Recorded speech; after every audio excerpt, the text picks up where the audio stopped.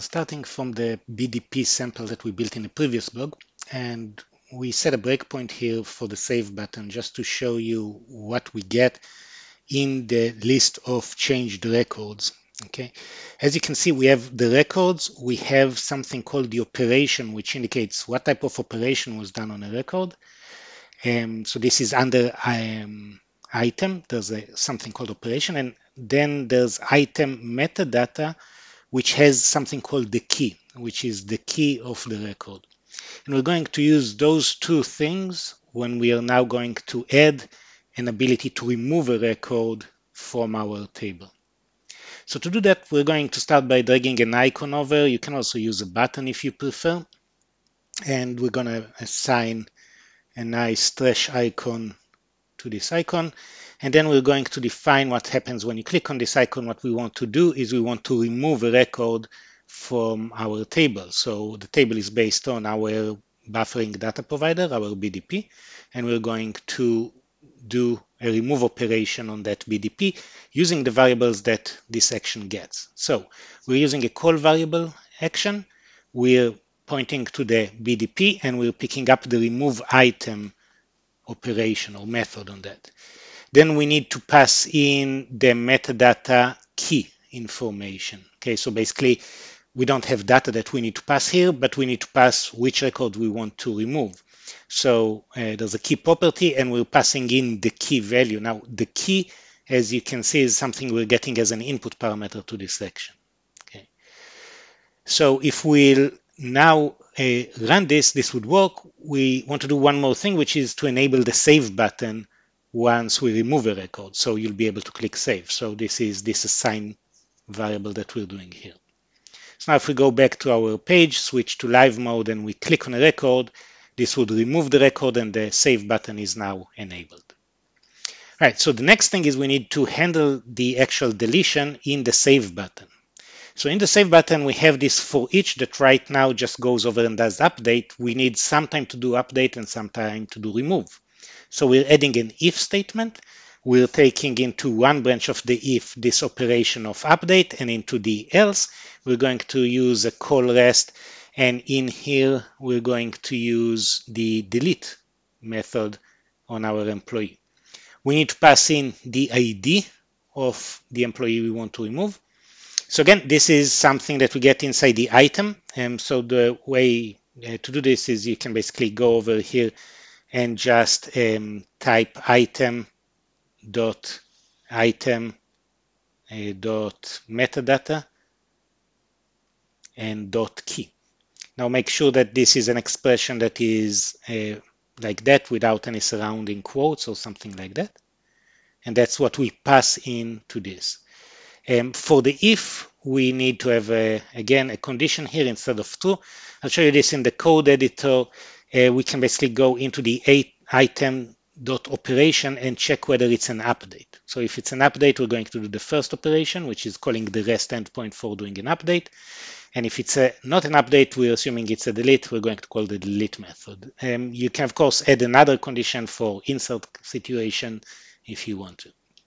All right, let's do a refresh of our application. The save button is disabled right now, so what we might want to do is actually update one of the records to get um, that save button to be enabled. We also are missing right now the actual method for this button because it hasn't downloaded yet.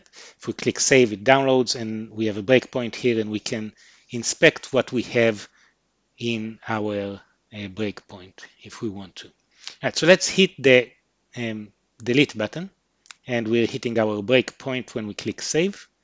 And if we now look, for example, at um, uh, the operation, let's set a breakpoint on the operation here and reach this line.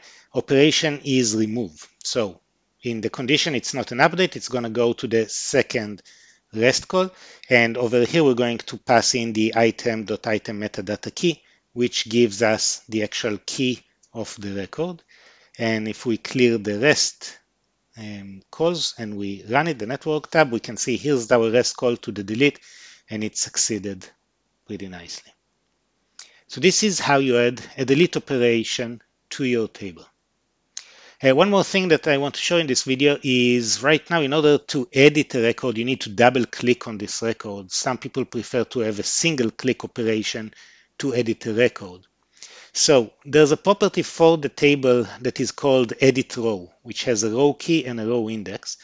And what we're going to do is we're going to add a little icon at the beginning of the row and this would be an edit icon. So we'll use a little pencil icon over here from the Redwood gallery. And when you click this icon, what we want to do is we want to set which record you're currently editing. Okay. So we're going to create a new variable of type object. Um, we're going to call it the row to edit, and it's an object. As we saw, it has two properties, the row key and the row index.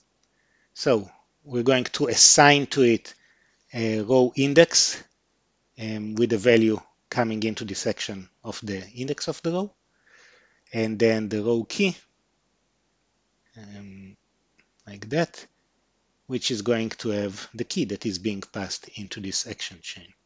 Those are again given to you when you select a record basically in the table when you're clicking on it.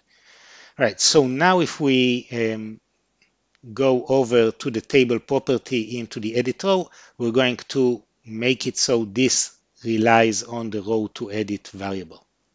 Okay, so now if we go over and we click on the pencil, we go into edit mode for that specific row with a single click, no need to do double click.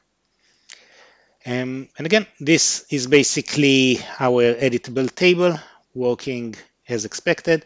Uh, you can of course rearrange columns over here. For example, if you prefer to have uh, this icon be next to the other icon. You can just drag and drop it in the table, have one column where you have your action and the other column you don't need it anymore. Uh, easy to remove it just from here, from the properties of the table. We'll remove the last column and we can change the title of the first column of the table now to be something like actions.